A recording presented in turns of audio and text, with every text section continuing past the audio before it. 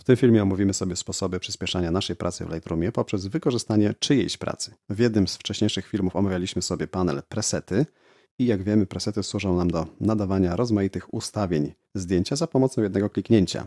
Trzeba tutaj powiedzieć, że w internecie takich presetów możemy znaleźć bardzo wiele. Są to presety przygotowane przez innych ludzi, udostępniane często za darmo i które pomogą nam osiągnąć niesamowite rezultaty w bardzo krótkim czasie. Żeby jednak takie presety wykorzystać, najpierw musimy je znaleźć, ściągnąć i zainstalować w Lightroomie. I właśnie w tym filmie pokażę, w jaki sposób to zrobić. Przejdźmy tutaj do Firefoxa. Jestem teraz na stronie Presets Heaven i znalazłem sobie tutaj presety do Lightrooma wykorzystujące efekt Holga. Efekt Holga jest zaprezentowany tutaj poniżej na zdjęciach przykładowych. Jak widać jest to dość specyficzny efekt.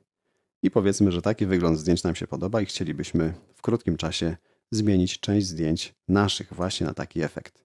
W tym celu musimy ściągnąć presety. Klikam na ten przycisk. W tym momencie plik ten należy zapisać gdzieś na dysku. Ja już to zrobiłem wcześniej. Zapisałem ten plik na pulpicie. Spójrzmy teraz na pulpit. To jest właśnie ten zip. Ja tego zipa teraz rozpakuję, klikam prawym klawiszem. Korzystam tutaj z programu 7zip. Wypakuję go do folderu Holga i tutaj dalej jakaś reszta nazwy. Spójrzmy, tu jest ten folder rozpakowany, spójrzmy do środka i widzimy już tutaj presety z rozszerzeniem LR Template. Teraz musimy te presety wczytać do Lightrooma. Przechodzimy więc do Lightrooma, otwieramy panel presetów, klikam teraz prawym klawiszem gdzieś tutaj w obrębie presetów i utworzę sobie nowy folder na te moje presety. Nazwijmy go na przykład Holga. Wciskam przycisk Create, folder został już utworzony i teraz zaznaczam go prawym klawiszem i wybieram stąd Import.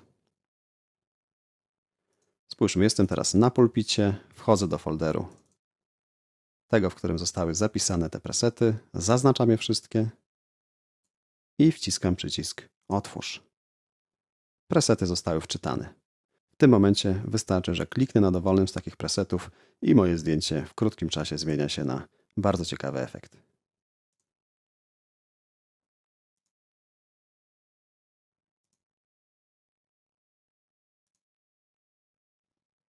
Spójrzmy jeszcze na jedną interesującą rzecz.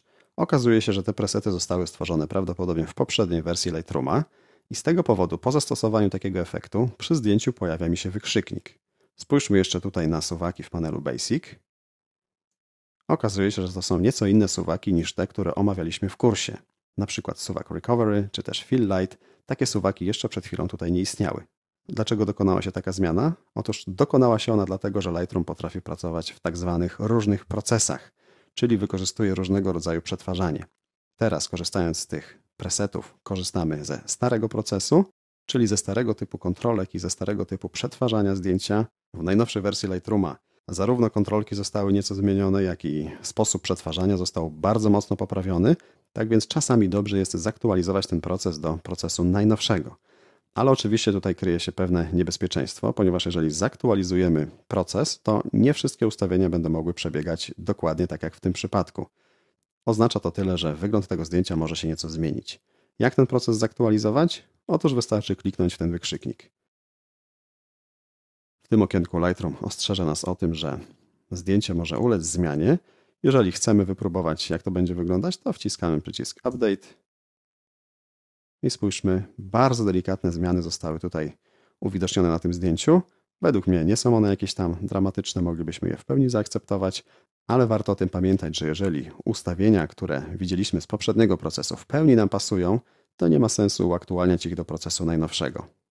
Jeżeli jednak chcemy korzystać z najnowszej wersji przetwarzania, z najnowszych kontrolek, jesteśmy do nich przyzwyczajeni i wiemy w jaki sposób one działają, to czasami warto spróbować zaktualizować zdjęcie do najnowszego procesu i kontynuować pracę na znanych sobie kontrolkach. Na koniec jeszcze pokażę, w jaki sposób usunąć presety, które tutaj umieściliśmy. Klikam teraz na tym folderze, teraz prawym klawiszem i stąd wybieram Delete Folder. W ten sposób usuwamy folder i wszystkie presety, które się w nim znajdowały.